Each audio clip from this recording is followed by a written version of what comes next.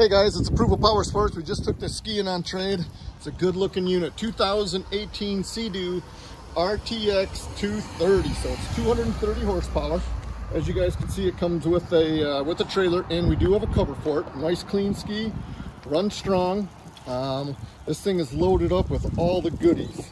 It has power trim, reverse, economy mode, sport mode. It's got the rear step. It's got the stereo system. This thing's great for pulling skiers, tubes, wakeboards. Just a fun unit all around. You guys will have a blast this summer on this thing. 2018 Sea-Doo RTX 230.